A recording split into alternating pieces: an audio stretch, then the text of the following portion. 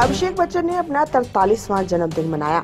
अभिषेक के जन्मदिन के अवसर पर उनके फैंस और बॉलीवुड के तमाम सेलिब्रिटीज ने उन्हें शुभकामनाएँ दी। वैसे तो अभिषेक के जन्मदिन को लेकर बच्चन परिवार ने हमेशा एक अलग ही क्रेज देखने को मिलता है, लेकिन इस बार अभिषेक के जन्मदिन को बहुत खास बनाने के लिए वाइफ और एक्ट्रेस ऐश्वर्या राय ने जो किया सभी फैंस को काफ़ी पसंद आया।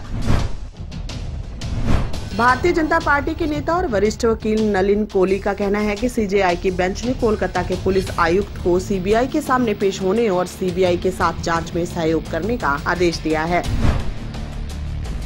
सुप्रीम कोर्ट ने यह भी कहा है कि अभी कठोर कदम नहीं उठाया जाएगा। सुप्रीम कोर्ट ने कहा है कि आखिर राजीव कुमार को सीबीआई के सामने पेश होने में दिक्कत क्या है? हालाँकि तीन जजों की बेंच ने साफ़ किया है कि राजीव कुमार की गिरफ्तारी नहीं होगी। राजीव कुमार को मेघालय के शिलोंग से सीबीआई के समक्ष एक तटस्थ स्थान पर पेश होना होगा। राष्ट्रपति भवन का प्रसिद्ध मुगल गार्डन 6 फरवरी से 10 मार्च तक आम जनता के लिए खोला जाएगा। अपने शांत वातावरण और हरियाली के लिए लोकप्रिय मुगल गार्डन इस बार 70 किस्मों के खूबसूरत फूलों, खासतौर से नीदरलैंड और जापान से आयातित फूलों के साथ लोगों का स्वागत करने के लिए तैयार है। राष्ट्रपति भवन को ब्रिटिश वास्तुकार एडवर्ड लुटियंस ने डिज़ाइन किया था। राष्ट्रपति भवन का 15 एकड़ में फैला यह बगीचा वार्षिक उद्यानोत्सव के लिए खोला जाएगा, जो राष्ट्रपति भवन की एक पुरानी परंपरा है।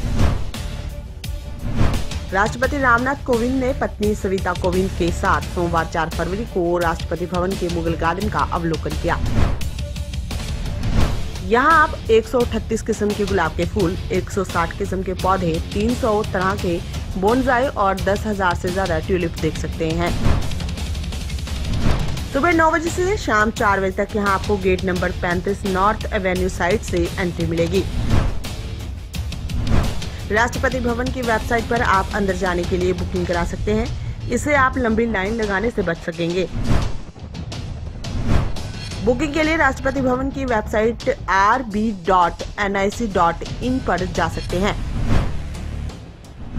यहाँ रंग बिरंगे फूलों वाले कई गार्डन हैं जो आपकी नज़रों को थामे रखेंगे।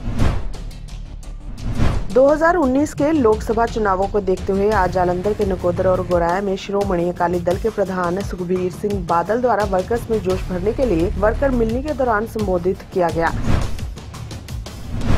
मौके पर पार्टी वर्कर्स की समस्याओं को सुना गया। इस मौके पर सुखबीर बादल ने कहा कि दो साल पहले पंजाब में गलत वायदे करके सत्ता में आ गए और अकाली दल के बारे में दुष्प्रचार किया, लेकिन आज कांग्रेस की बातें गलत साबित हुई हैं। सुखबीर बादल ने कहा कि सूबे में जो भी बड़ी उपलब्धि है, वो अकाली भाजपा के समय में हुई थी। वहीं इस मौके पर सुखबीर बादल ने कहा कि उनकी सरकार द्वारा आम लोगों को दी हुई सहूलतों को खत्म किया जा रहा है। और शिरोमणि अकाली दल के वर्कर्स पर गलत तरीके से पर्चे किए जा रहे हैं। वहीं सुखबीर बादल ने कहा कि अब वे पंजाब में तेरह की तेरह सीट जीत कर वापस आएँगे। सुखबीर बादल ने कहा कि केंद्र सरकार को छोटे किसानों को 6000 प्रति वर्ष की राशि को दोगुना करना चाहिए और ये खजाना खेत मजदूरों पर भी लागू होना चाहिए। वही किसानों के बारे में कैप्टन द्वारा किए गए ट्वीट को लेकर कहा कि कैप्टन सरकार ट्वीट नहीं करते, बल्कि सभी उनके ऑफिसर्स ही करते हैं। वेस्ट बंगाल में सीबीआई के विवाद को लेकर सुखबीर ने कहा कि यह देश के डेमोक्रेटिक और फेडरल ढांचे पर गहरी चोट है और वो इसकी निंदा करते हैं। वहीं सुखदेव सिंह ढींडसा को केंद्र सरकार द्वारा अवार्ड दिए जाने को केंद्र सरकार के निर्णय को सही ठहराते हुए कहा कि वो अकाली दल के, उनके पिताजी के समय के अकाली दल के वर्कर हैं। क्या पंजाब सरकार का गणित और साइंस अंग्रेज़ी में पढ़ाने का फैसला सही है? पंजाब आम आदमी पार्टी ने सरकारी स्कूलों में छठी से नौवीं तक गणित और विज्ञान विषय पंजाबी की बजाय अंग्रेज़ी में पढ़ाए जाने वाले संबंधी फैसले को मातृभाषा विरोधी फैसला करार दिया है।